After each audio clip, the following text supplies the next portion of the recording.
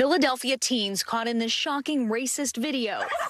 Spray painting one girl's face black and making comments like this. In another part of the video, appearing to mock Black History Month. You're a black girl. You know your roots. It's February. The appalling video posted on social media and then shared widely, leading to protests outside St. Hubert's Catholic High School for Girls, where three of the teens are students, according to the Archdiocese of Philadelphia. How dare they? Son needs to be dead today. Parents and civil rights activists calling on the school and archdiocese to take immediate action. I want justice.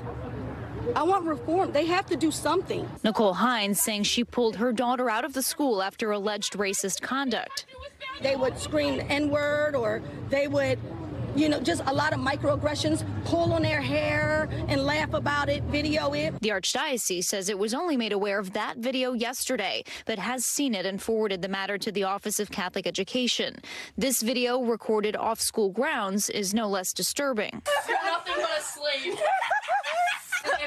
Doing my laundry. A fourth teen in the video was from another school, Franklin Towne Charter, issuing a statement condemning hateful behavior and saying the former student who took part has, quote, no place at our school. It's unclear if the student was enrolled at the time of the video. The Archdiocese issuing a statement calling the behavior vile and saying the students allegedly responsible are not present in school and are being disciplined appropriately, adding any other students involved will also face disciplinary action. Quote, we take this opportunity to be abundantly clear that there is no place for hate, racism, or bigotry at St. Hubert's or in any Catholic school. But community leaders are calling for more.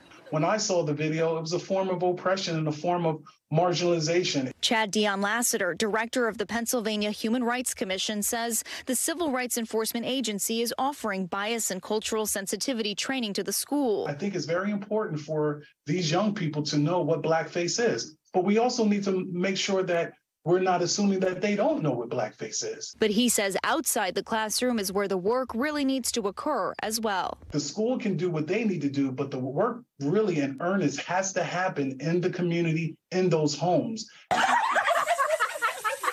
All right, that video hard to watch. Valerie Castro joins us now. Valerie, do you know anything more about the investigation or the punishment that these girls may face? So the Archdiocese says there is an ongoing review of the incident, and they, quote, don't want to leave any stone uncovered. As for possible punishments, they say it ranges from a minimum of suspension with counseling. The maximum, of course, would be expulsion. The school has gotten some general threats since this all came to light. The Archdiocese says students will be learning at home for the rest of the week as a precaution.